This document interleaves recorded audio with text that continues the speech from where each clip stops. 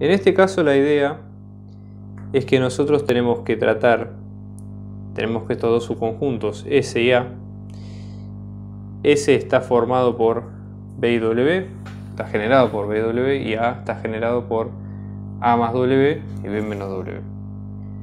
Ambos dos, ¿sí? en este caso, van a generar el mismo subespacio.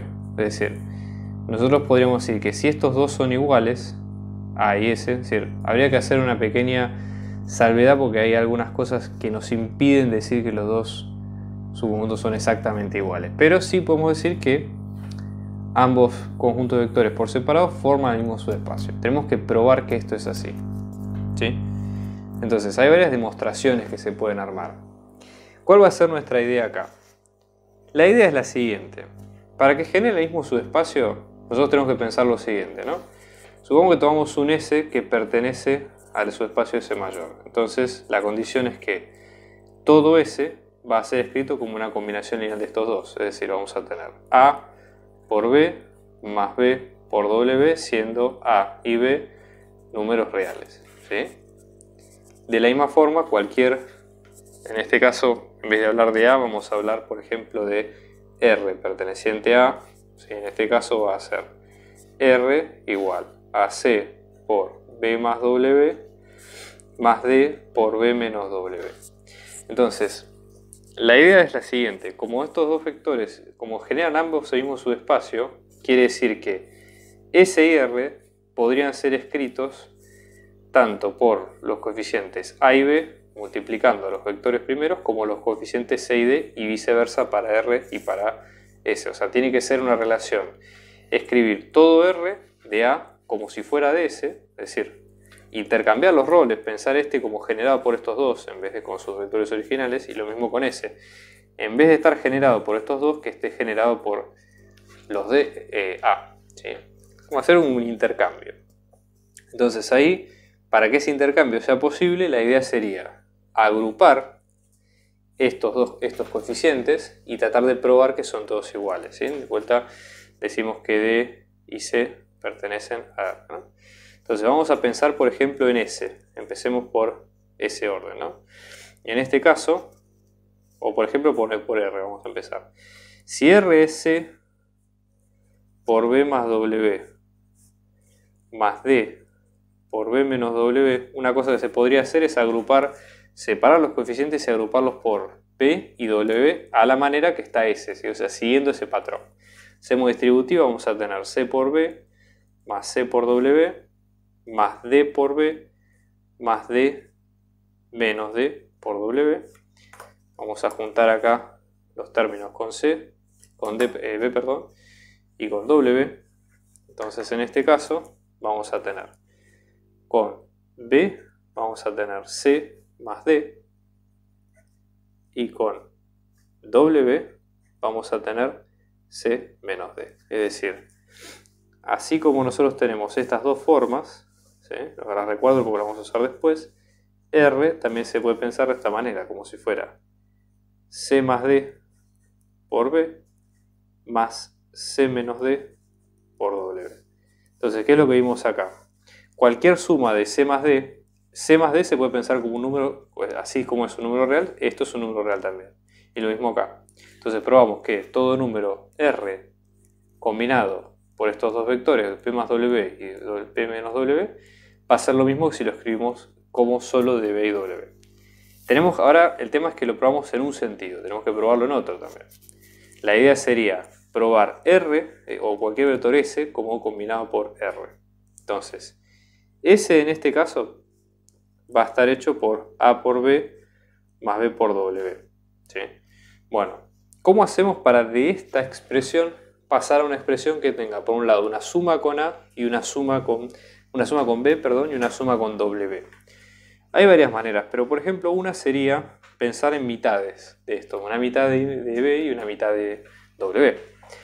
¿Por qué? Porque nosotros tenemos esto de repetido dos veces. O podemos también pensarlo como por dos, no hay problema. ¿sí? Pero eh, pensémoslo de ese lado.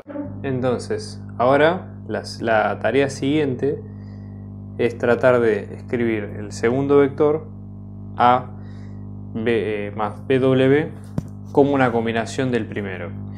Es decir, del R que sería C por B más W más D por B menos W. Para hacer esto vamos a separarlo en dos mitades. ¿sí? AB, un medio de AB más un medio de AB más un medio de BW más un medio de BW. ¿Por qué lo hacemos así? Porque la idea sería compensar y mezclar con otras operaciones que nos incluyan esta resta de b menos w que no es posible con lo que teníamos al principio. Igual es un poco, ya les digo, esto es más un tema de arte en el sentido de cómo uno eh, creativamente puede armar el problema que de otra cosa, pero nada más, digamos. Fíjense, nosotros tenemos b y w que tiene una suma, que es lo que nosotros ya vimos al principio, y la idea es incluirles ahora la operación de resta. Entonces, vamos a hacer lo siguiente. En este caso, vamos a compensar de la siguiente manera. Si ustedes se fijan, una forma de interpretar esto ¿sí? es que los coeficientes, por ejemplo, A de la suma que nosotros tenemos acá, pueden corresponderse si quieren con el primero. Entonces deberíamos tener otros que sean de la suma de eh, W, por ejemplo, ¿sí? como para tenerlo, tener una idea. Entonces, por ejemplo, deberíamos tener uno que sea un medio ¿sí? de A por W, cosa de juntar estos dos y que esa suma sea posible. Ahora, si nosotros sumamos algo, inmediatamente tenemos que restarlo para cumplir lo que hacemos siempre, que es de no alterar el resultado de la cuenta. Entonces tenemos el menos un medio de A por W. Y esto nos sirve porque juntamos nuevamente otro de estos dos ¿sí? con la resta que efectivamente vamos a tener más adelante. ¿sí? Y lo mismo vamos a tener con, por ejemplo, el B, que en este caso tiene que estar en suma. Deberíamos sumarlo con alguno de estos. Entonces vamos a tener, por ejemplo, sumamos un medio de B por B y luego restamos, misma lógica, un medio de B por B. Entonces vamos a agrupar ahora todos como para que se vea la idea. ¿sí? Vamos a tener en cuenta. Por un lado, fíjense, vamos a tener el primero, A por B, ¿sí? luego en este caso tenemos A por W, en suma los dos. Vamos a tener el otro término, que en este caso tenemos A por B, ¿sí? y ahora tenemos menos a por W, ¿sí?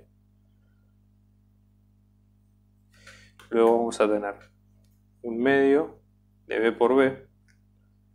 Y en este caso después tenemos un medio de B por B corta. Y finalmente nos van a quedar estos dos. Un medio de B por W y un medio de B por B. Vamos a organizar todos de entrada. El azul que en este caso como denominador común tenemos, el, como factor común tenemos un medio de A, o sea vamos a tener un medio de A por B más W, después vamos a tener estos dos, es decir, tenemos como factor común un medio de A, o sea que en este caso tenemos B menos W, luego vamos al otro, los dos, que en este caso acá como factor común tenemos un medio de B, o sea que vamos a tener un medio de B por B más W. Y después tenemos estos dos, que en este caso tenemos un medio como factor común también, medio de B, ¿sí? Pero acá en este caso vamos a tener W menos B. Si es que hicimos bien las cuentas, sí. Pero vamos a poner menos afuera, para que sea más cómodo. Entonces en este caso vamos a tener B menos W. Entonces otra forma de agrupar esto sería la siguiente. Fíjense, ya avanzamos bastante. Fíjense, B más W es un factor común acá y también lo tenemos en este caso. Entonces podemos sacar factor común B más W y después lo que nos queda es la suma de estos dos números. Entonces acá vamos a tener un medio de A más B. Y después, juntando estos dos, que van a tener como factor común b menos w y van a tener un medio también y acá en este caso tenemos a menos b. ¿Cuál es la moraleja de esto? Fíjense, S fue expresada con una combinación de constantes, esto llamémosle constante 1 y esto llamémosle constante 2, de la manera que se pide por ejemplo cualquier vector R, que sea una constante por B más W, el vector generador B' si quieren, de su espacio A, que era este, y otro mismo, un medio del vector de una constante C2 por el vector generador BMW. Entonces vale la reciprocidad de que los dos espacios pueden ser generados, o que el espacio puede ser generado por los dos vectores a la vez, los conjuntos de vectores, ¿no?